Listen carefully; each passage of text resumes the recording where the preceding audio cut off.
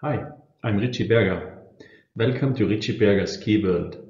From now on, I would like to send out regularly videos about skiing. Please subscribe my channel. This time I would like to talk about the first key point of ideal short turns, the angulation.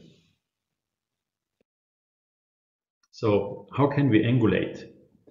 The idea of angulation at ideal short turns is not folding out your upper body, rather moving out your lower body.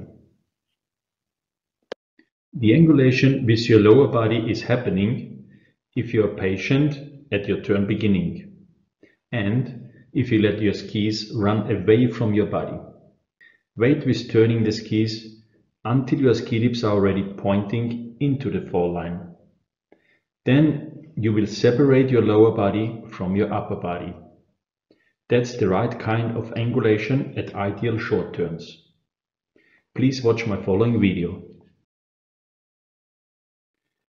Please watch at the turn beginning now. Don't turn immediately your skis. Wait until your ski tips are already pointing into the fall line.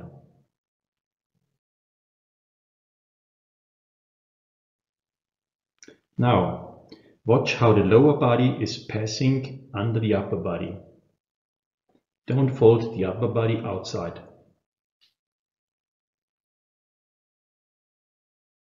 To increase your angulation, bend your inner leg more. Then you can shorten the distance from your hip to the snow and you will get more angulation.